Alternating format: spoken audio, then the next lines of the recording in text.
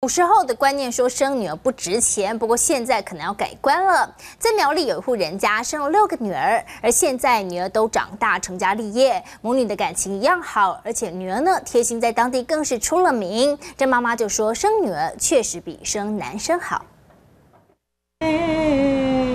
嘹亮嗓音唱着客家山歌，今年八十四岁的老奶奶身体看起来超硬朗，而且常常会挂满笑容的她，因为她的六个女儿们在当地可是出了名的孝顺贴心。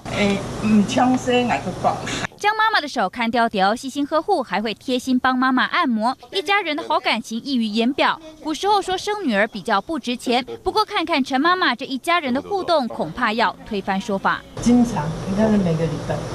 就是周休二日休休假就会回来看看妈妈。一针一线缝制鲜艳的客家花布，二女儿继承妈妈手工艺的好功夫，手艺青出于蓝。她真的真棒啊！妈妈教，然后我们再自己再研发。吴女儿秀出自己两个女儿的可爱照片，从她幸福的表情告诉我们，生女儿没有什么不好。虽然我们嫁出去哈，嗯，她也是，呃，每天都会回来看看一看啊。